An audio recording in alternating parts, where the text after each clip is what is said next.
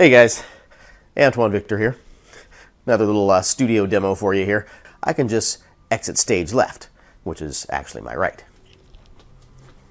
And uh, if I want to illustrate, for example, the features of ipconfig flush DNS, I could run that command and see that my DNS uh, resolver cache was flushed successfully. We are running a 64-bit version of Windows, so let's select it right here. Now, when we first attempt to download the JDK, a dialog box pops up that says, sorry, you must accept the license agreement before downloading. So let's accept it by clicking this button and continue. good morning, good afternoon, good evening, whatever the case may be, wherever you are when you're watching this video. All right, so let's just jump right into the demo. So first thing that we're going to do is um, create our test project, and we'll call our test project echo test.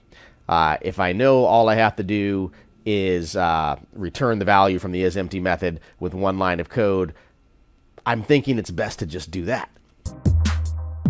This is your buddy Jay signing off for your friends here at Professional Data Management. Thank you for watching. Don't forget to like and subscribe. We'll see you guys next time.